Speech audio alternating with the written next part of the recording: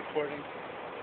Second night in Chicago, and I didn't get up till 5. In the five. afternoon. Yeah, I fell asleep at like 3. So we're just trying to find some dinner. And, uh, where are we going? Uh, Polly's. Polly's? Polly's Pizza. Pizza, Alright. New York pizza. Oh, New York pizza in Chicago. New York style. New York style in Chicago. Okay, we're going to this. I don't know where we're going. I never really know where we're going. We're just going to get into some trouble. Crystal, I'm going to need you to bail me out.